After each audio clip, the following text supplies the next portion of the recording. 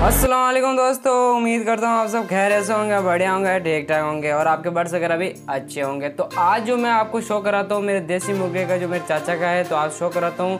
क्यों कह रहा हूँ कि जो हमारे न्यू यूवर्स जो आए हैं, हमारे अभी चैनल पर तो उन्होंने हमारे जो पुराने बर्ड्स वगैरह का शौक नहीं किया तो मैं आज उनको करा रहा हूँ कि हमारे पुराने यूवर्स ने सब कुछ देखा हुआ है। बस आपसे एक छोटी सी रिक्वेस्ट अगर आप हमारे चैनल पर नहीं तो चैनल को सब्सक्राइब और बेल आइकन को ले ऑल पर सेट तो जो सामने दिख रहा है, ये प्योर देसी मुर्गा है, पर ये ऐसे जैसा लग रहा है, पर प्योर देसी मुर्गा है। और बाकी उसके अलावा हम जो अभी आपको जो पार्टीशन दिख रहा है, इसमें गिनी फाउल बत्तख वगैरह, हर चीज़ देसी बर्ड्स टोटल कंप्लीट सारे बर्ड्स में है। और हमारे चार बाई चार का केज भी रखा हुआ है इसी के अंदर।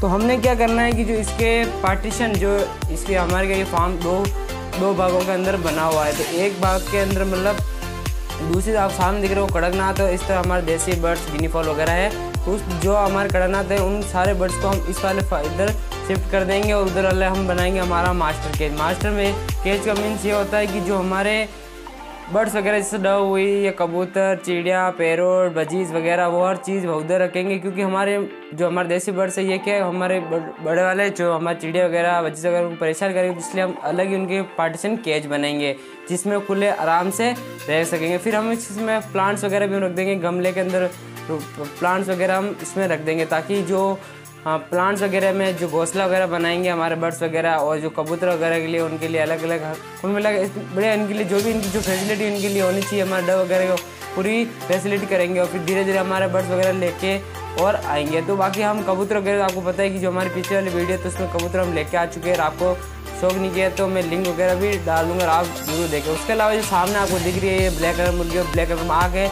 ये प्योर देसी मुर्गी है, जो हमारे फार्म हमने स्टार्ट नहीं किया है। उससे पहले की जब हमारे पास एक मुर्गा, जब एक मुर्गी थी, जब से ये मेरा फार्म है मतलब ये वाले बर्ड्स वगैरह जो आपको दिखी मुर्गी, ये वाले इसके साथ मुर्गा था जो तो मैंने सेल कर दिया, क्योंकि वो मतलब बच्चों को वगैरह को मारने लगे, इसलिए उसमें को मैंने सेल किया। बाकी जो स्थान दिखे वही पार्टीशन ये है। इसमें देसी मुर्गे जो आर यार, और कड़कनाथ दोनों है उस तरफ़, उसको बिल्कुल खाली कर देंगे, क्योंकि इधर अलग बड़ा है, उधर अलग आठ बाई मतलब सात फीट हाइट है, आठ फीट चौड़ाई है तो। इतना ही है, जिसके अंदर मास्टर केज बनाएँगे। आपको जैसे बताया वैसे प्लांट्स वगैरह, चिड़िया वगैरह, डस्ट वगैरह, सब कुछ इसमें रखेंगे। तो बस आपसे एक छोटी सी रिक्वेस्ट है, वापस बोलता हूँ कि जो अगर आप हमारे चैनल पर नहीं है तो चैनल को सब्सक्राइब बेल आइकन को ऑल पर सेट भाई गिनी फॉल भी देसी मुर्गी काफ़ी मारता रहता है, हमेशा मैंने काफ़ी परेशान होंगे बस गिनी फॉल आपको बताया कि इसको क्या करें। बस वीडियो बनाते समय चिल्लाता भी बहुत ज़्यादा है वीडियो में, बहुत परेशान होती है वीडियो बनाने में। बाकी आप मैं इसके साथ तीन मुर्गियाँ थी, हमारे जो मुर्गा है तो इसका एक मुर्गी की डेथ हो गई है और दो मुर्गियाँ हमारे पास अभी है। तो एक वाइट कलर में प्योर देसी मुर्गी है वाइट कलर में और एक से हमारे